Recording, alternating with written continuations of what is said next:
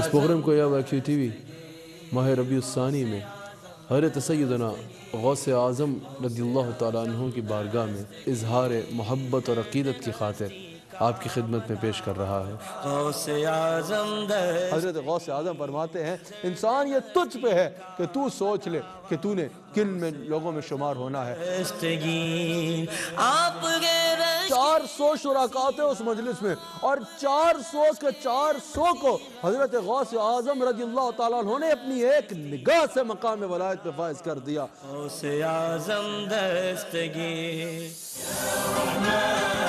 देखिए खसूसी प्रोग्राम विलायत के औसाफ।